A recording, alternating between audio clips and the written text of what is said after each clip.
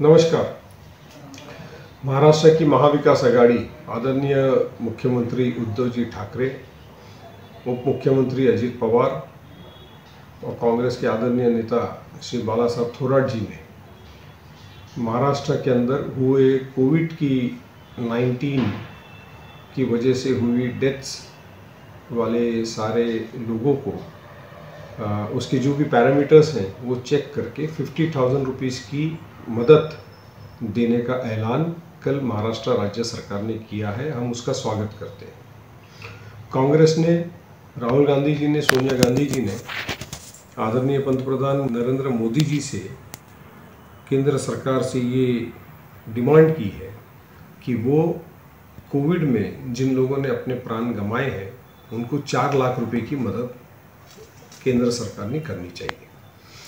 केंद्र सरकार ने ये भी आरोप लगते आए हैं कि जो रियल आंकड़े हैं, जो लाखों की तादाद में है, उसे कहीं ना कहीं गलत पेश करने का काम केंद्र सरकार ने किया है।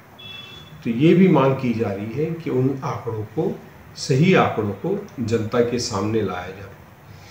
जो सेकेंड फ़ेज़ में कोविड 19 में जो लोगों की डेथ हुई बहुत हद तक के केंद्र सरकार की ज़िम्मेदारी बनती है क्योंकि केंद्र सरकार ने सही वक्त पे वैक्सीनेशन का काम शुरू नहीं किया।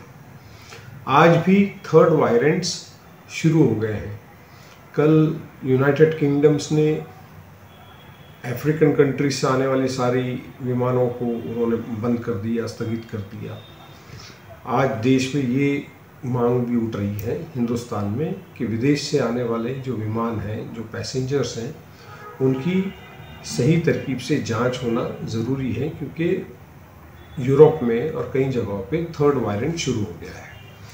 केंद्र सरकार से हम एक बार फिर इस बात को डिमांड करते हैं कि चार लाख रुपए की मदद उन परिवारजनों को देनी चाहिए जिनकी जान कोविड 19 में गई है और राज्य सरकार, महाराष्ट्र की राज्य महाविकास आघाड़ी सरकार ने जो पचास हज़ार रुपये देने का निर्णय किया है, हम उनका स्वागत करते हैं।